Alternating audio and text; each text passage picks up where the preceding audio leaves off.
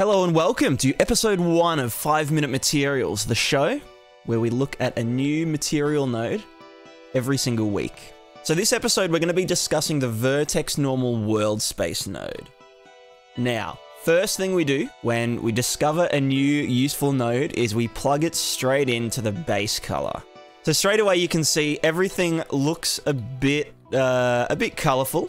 And the reason that it is so colorful is because Let's take this octagon here, for example. So if we were to mask it in the B channel, B being blue, and also the Z axis, which is up and down, it will give you a value based on the vertex's angle in world space. So if we were to take this face here, this would be equal to 1. This one on the side facing like directly horizontal would be 0. And then the downwards facing vertices would be negative 1. So if we were to go ahead and mask this vertex normal world space only in the B channel, you can see straight away that up here on the top of this sphere, this is 1. This is pure white. And then as we go down to the sides, this is where 0 is. And because we can't actually visualize negative blacks, this is negative 1 down here. If I grab this and I mask it in the G channel, then you'll see the Y values, 1, negative 1, and in the red channel, we get the X, 1, and negative 1.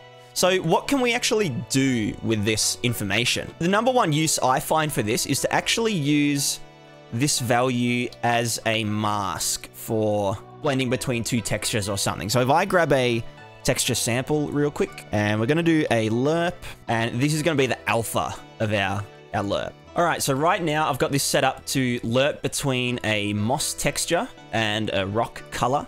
And you can see it's gone a bit janky because we haven't accounted for the fact that this actually goes into the negative. So what you can do is just saturate that. Saturate is just a clamp between 0 and 1, but it doesn't use any instructions.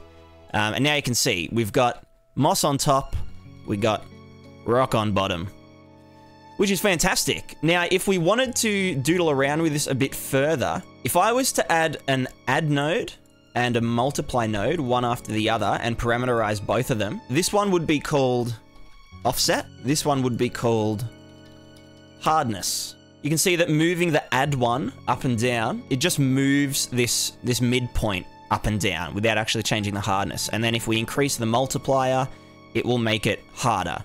And so, you know, if we if we now change this, you can see it really clearly moving from one to the other. We can also use this to lerp between normal maps, so using the exact same value there. And now with these these normal maps set up, they're also within this lerp now.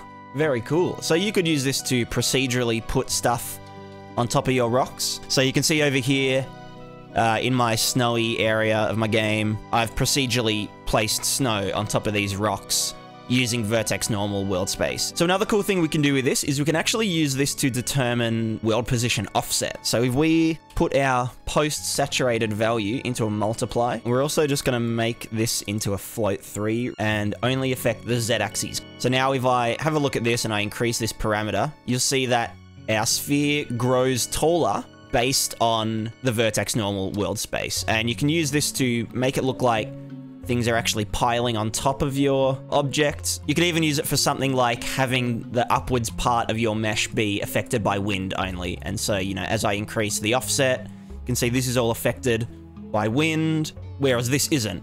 A benefit of this is that no matter which way I rotate this mesh, the actual mask stays the same. Even though these textures are moving around, the mask between them is always the upwards facing vertex. Now you can see this effect a little more clearly with a cylinder. So as I turn it on its side, the mossy part's facing up.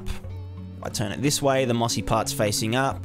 And if I start to roll it around this way, it's always facing up. As another little example of what else I use this node in a lot, um, I've got this explosion here, which instead of using a particle system, I've actually opted to use a mesh, which gets a cloud noise texture and it multiplies it by the vertex normal world space. And so what this does is applies world position offset in the direction that the mesh is facing. So it's always going radially out from the center of this sphere. So if we go back to our sphere example and I get this node and I grab a multiplier and I just chuck that into world position offset, plug a sine wave in and multiply that by, I don't know, let's go by 10. And this will fluctuate like a like a beating heart or something.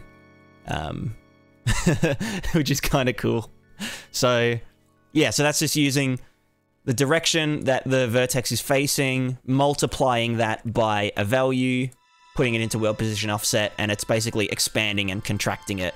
So as you can see, we can use this node for masking certain areas of a mesh and also using it to determine the direction that we displace something by. Now, I know there are hundreds, if not thousands, of other applications of this node, but this is just a quick little introductory episode so that it can get your brain juices flowing and get you thinking of unique ways to use this node. I've just gone over two of the really common use cases for this node, but if you've got a specific use that you use it for, drop it in the comments below, and I'll probably make another episode of Vertex Normal World Space covering some more advanced things or just really wacky, kind of zany zany effects that we can come up with. As always, if you found this entertaining or educational, uh, then make sure you like and subscribe. Liking and subscribing really helps get these videos out to more people and helps spread this knowledge even further. So with that, I say goodbye. Goodbye.